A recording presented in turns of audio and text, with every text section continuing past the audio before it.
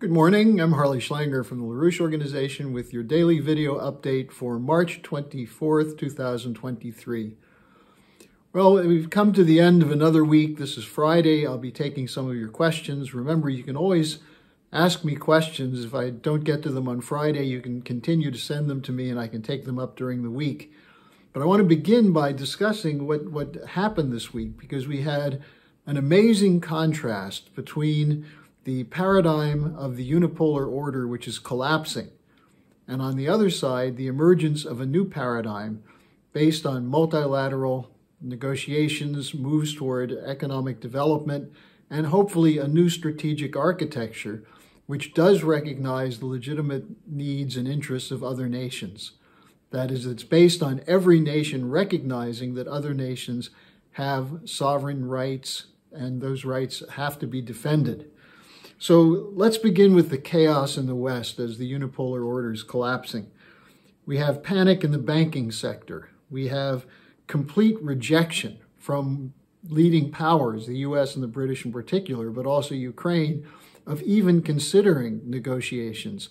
The Ukrainians say they may take the Chinese offer up. Well, we'll see. But uh, Kirby of the uh, National Security Council said absolutely not. It's not. It's, it's not serious. Uh, so we'll we'll see what happens with that. But at the same time, we're seeing growing demonstrations in, against transatlantic governments.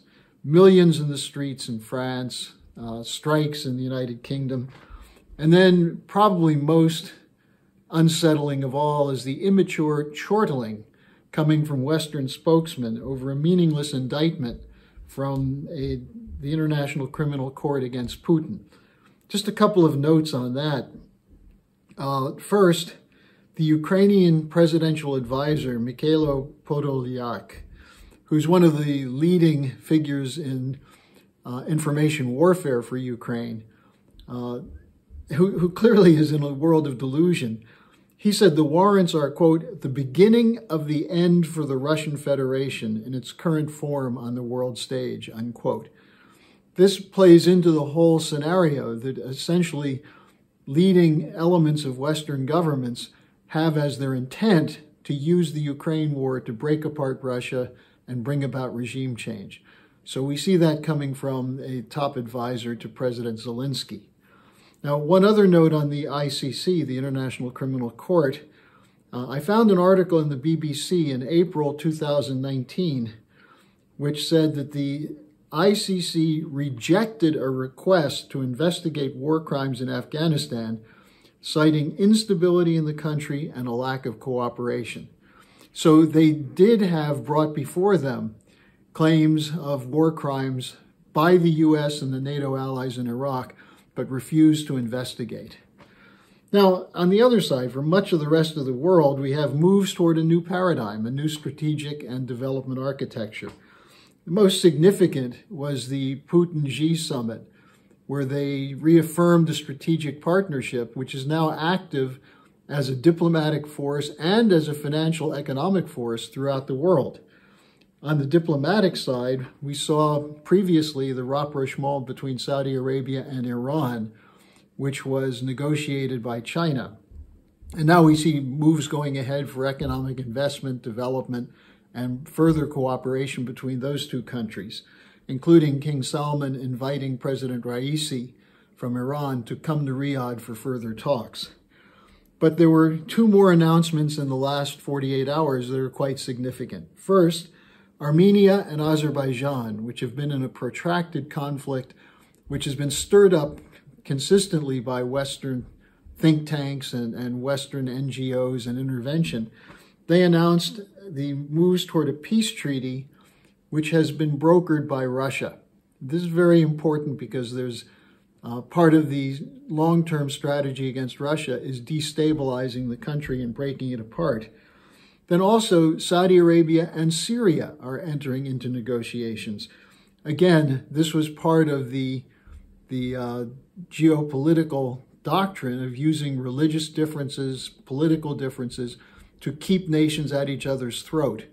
So if you now have Iran and Saudi Arabia talking, Syria and Saudi Arabia, Turkey's involved, Egypt is involved, it's a move to break fully from the crisis scenario that was developed by people like Sir Bernard Lewis and Zbigniew Brzezinski, Samuel Huntington. It's a new era, and it's out of the control of the unipolar order.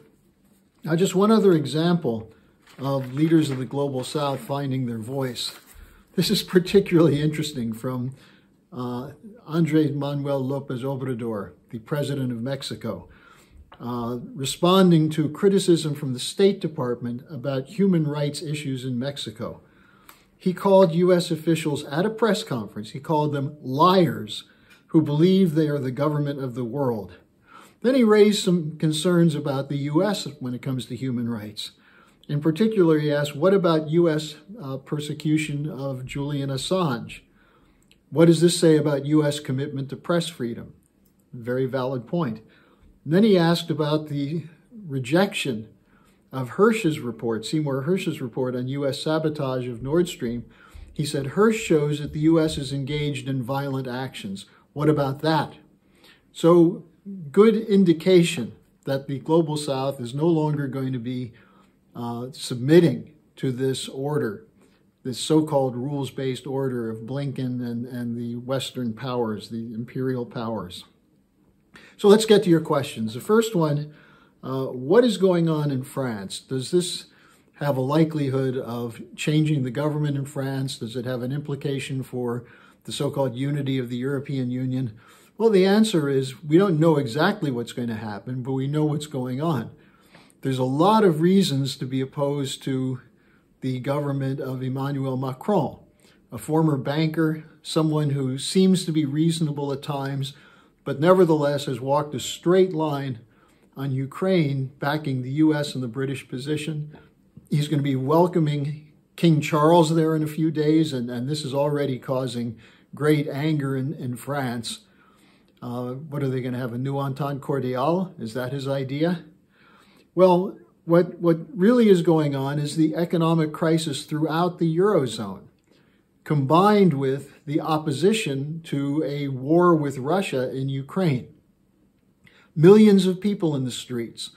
The pension reform is the trigger because it was an attempt to squeeze a little bit of austerity by raising the retirement age by two years. But what it reflects is a lack of consideration by the Macron government for the conditions facing most people in France who are worse off today than they were 10 years ago because of the EU policy. But it also shows his lack of commitment to the institutions of France. He overrode the assembly, which would have probably voted against his reform. He said, We're not even going to consider it, I decree it. And it, it's this little Napoleon mentality which is part of the cause of the uprising, which is now sweeping the whole of France. They, the police said 1 million in the streets yesterday. The organizers of the demonstration said there may have been 2 or 3 million once again in the streets of Paris, and it shows no sign of letting up.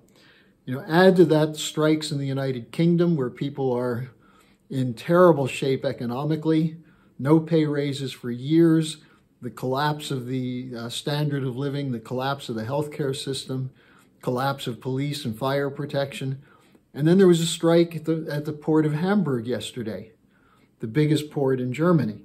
So the agitation is going to grow. The question is, will there be a strategy for pulling these various concerns together? For example, also the farmers in Holland, big demonstration because the EU is cutting the cultivation of farmland by 30% in that country, which is one of the bread baskets for export of food around the world.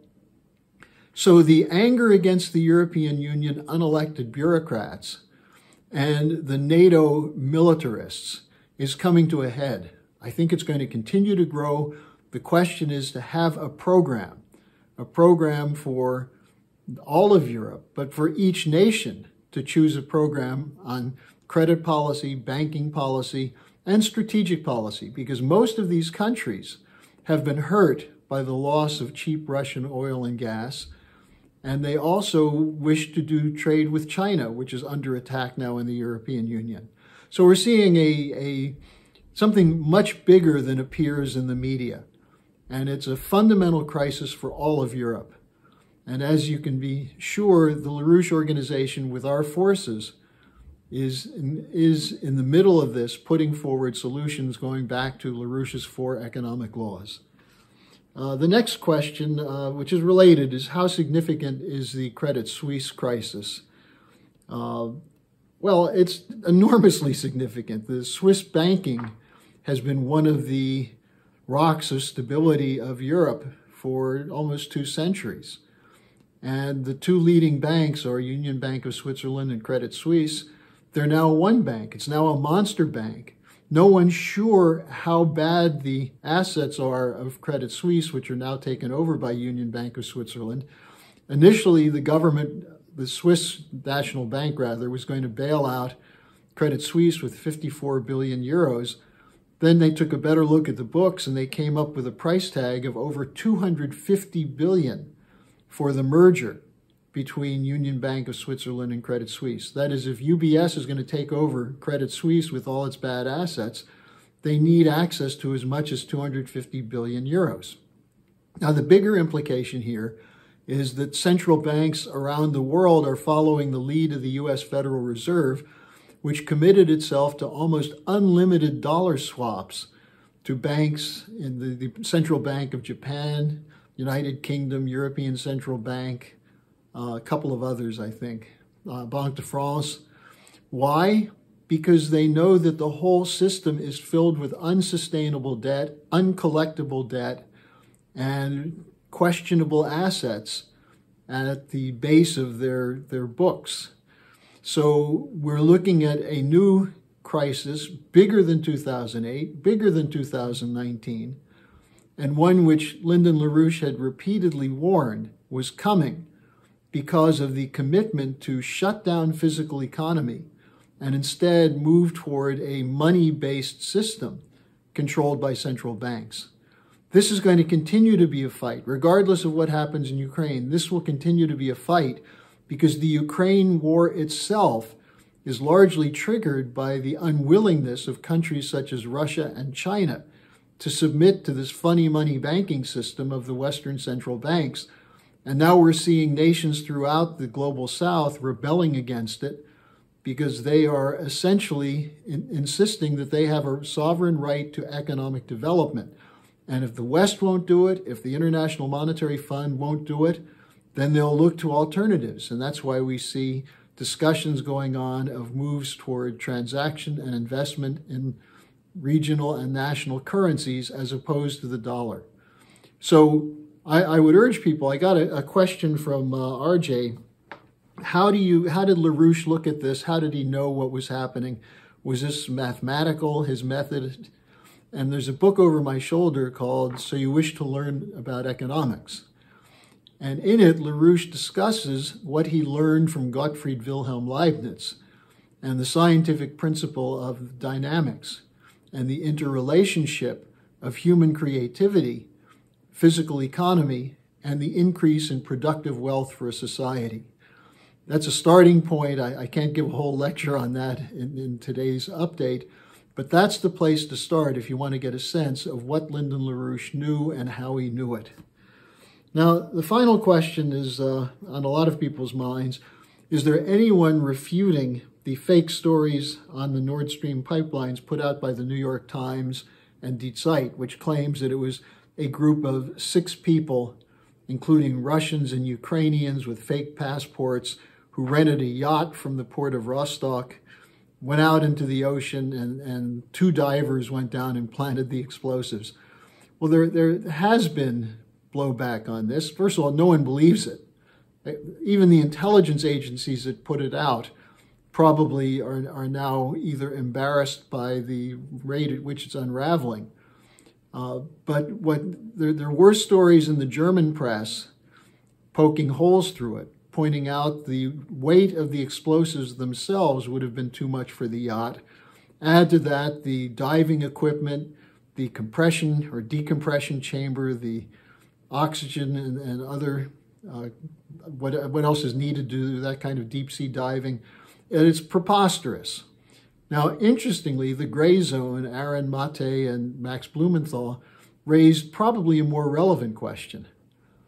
Why did they come up with such a bad cover story? Is this all they have? And I think that gets to the point of things. This system is collapsing. The political leadership is discredited. They have no solutions. And it's time now for a, a new international mobilization to take power out of the hands of these corporate cartels that are crashing the economy, uh, causing wars all over the globe, uh, hunger crises, food shortages, sanctions. This is a world which has to move into a new paradigm. That's the fight of the Schiller Institute. That's what Helga Zepp LaRouche is spearheading in the carrying out the legacy of her husband, Lyndon LaRouche. And it's something all of you can join. Now, tomorrow, Saturday, for the Manhattan Project, which you can find at the LaRouche Organization website, a link to it, at 2 p.m. Eastern, we're going to have an extensive discussion of the relationship between physical economy, scientific discovery, and human creativity in the tradition of Lyndon LaRouche's Strategic Defense Initiative. So I'd urge you all to join us and do some serious thinking. And part of what you should be thinking about is joining our movement to create a change. So thanks for joining me this week. I'll be back next week. Hello, thanks for watching. Be sure to like, subscribe, and hit the notification bell so you don't miss any of our videos. Support our independence to produce videos like these. Become a member of the LaRouche organization at thelarouche.org slash member. By becoming a member for $25 or more, You'll get special access to the EIR Alert Daily Briefing and Weekly Magazine, which is what I read to stay on top of things.